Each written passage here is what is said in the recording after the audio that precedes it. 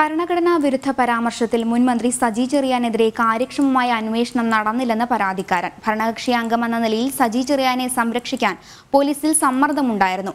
കേരള പോലീസിന് കേസ് അന്വേഷിക്കാൻ കഴിയില്ലായിരുന്നുവെങ്കിൽ മറ്റൊരു ഏജൻസിയെ ഏൽപ്പിക്കണമായിരുന്നുവെന്നും പരാതിക്കാരനായ അഡ്വക്കേറ്റ് വൈജു നോയൽ പറഞ്ഞു.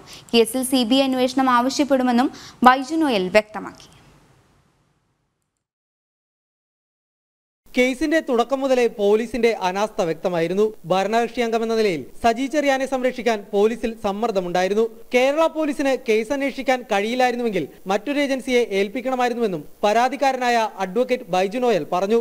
താൻ നൽകിയ തെളിവുകളുടെ ശാസ്ത്രീയ പരിശോധന പോലും നടത്തിയിട്ടില്ലെന്നും അദ്ദേഹം കുറ്റപ്പെടുത്തി. പക്ഷെ ഇതിനകത്ത് ഈ തെളിവുകളൊന്നും ശാസ്ത്രീയമായി പരിശോധിക്കാൻ ഇത് ഒരു സയന്റിഫിക് ആയിട്ട് പരിശോധിക്കണം. അദ്ദേഹത്തിന്റെ ശബ്ദത്തിന്റെ സാമ്പിൾ എടുക്കണം. അദ്ദേഹത്തിന്റെ ശബ്ദ സാമ്പിൾ ഈ വീഡിയോഗ്രാഫുമായിട്ട് മാച്ച് ചെയ്യുന്നുണ്ടോ എന്ന് പരിശോധിക്കണം. ഇതിനൊന്നും പോലീസ് തയ്യാറായിട്ടില്ല. ഇദ്ദേഹത്തെ ഒരു നോൺ ബെയിലബിൾ ഇത്. ഒരു ജാമ്യമില്ലാത്ത വകുപ്പ് പ്രകാരം എടുത്തൊരു കേസാണ്.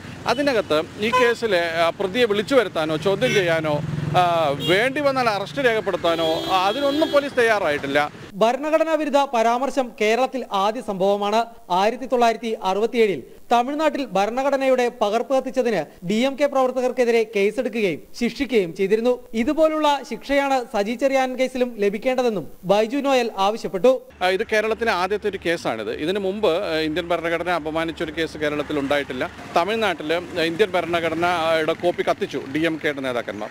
ആ ആ കേസിനകത്ത് അവർക്ക് മധുര മജിസ്ട്രേറ്റ് കോടതി മൂന്ന് വർഷത്തെ ശിക്ഷയും ശിക്ഷയാണ് കൊടുത്തത്. അവരത് മദ്രാസ് ഹൈക്കോടതിയിൽ ചാലഞ്ച് ചെയ്തെങ്കിലും അവരുടെ ശിക്ഷ ശരിവെക്കുകയാണ് മദ്രാസ് ഹൈക്കോടതി ചെയ്തത്. അങ്ങനെയാണെങ്കിൽ ഈ കേസിലെ പ്രതിക്കും സ്വാഭാവികമായിട്ടും ആ ശിക്ഷ തന്നെയാണ് കിട്ടേണ്ടത്. പോലീസ് അന്വേഷണം അവസാനിപ്പിക്കുന്ന സാഹചര്യത്തിൽ സി സമീപിക്കാൻ ഒരുങ്ങുകയാണ് പരാതിക്കാരൻ. സി ബി ഐ അന്വേഷണം ആവശ്യപ്പെട്ട് ഹൈക്കോടതിയിൽ ഹർജി നൽകുമെന്നും അഡ്വക്കേറ്റ് ബൈജു നോയൽ വ്യക്തമാക്കി.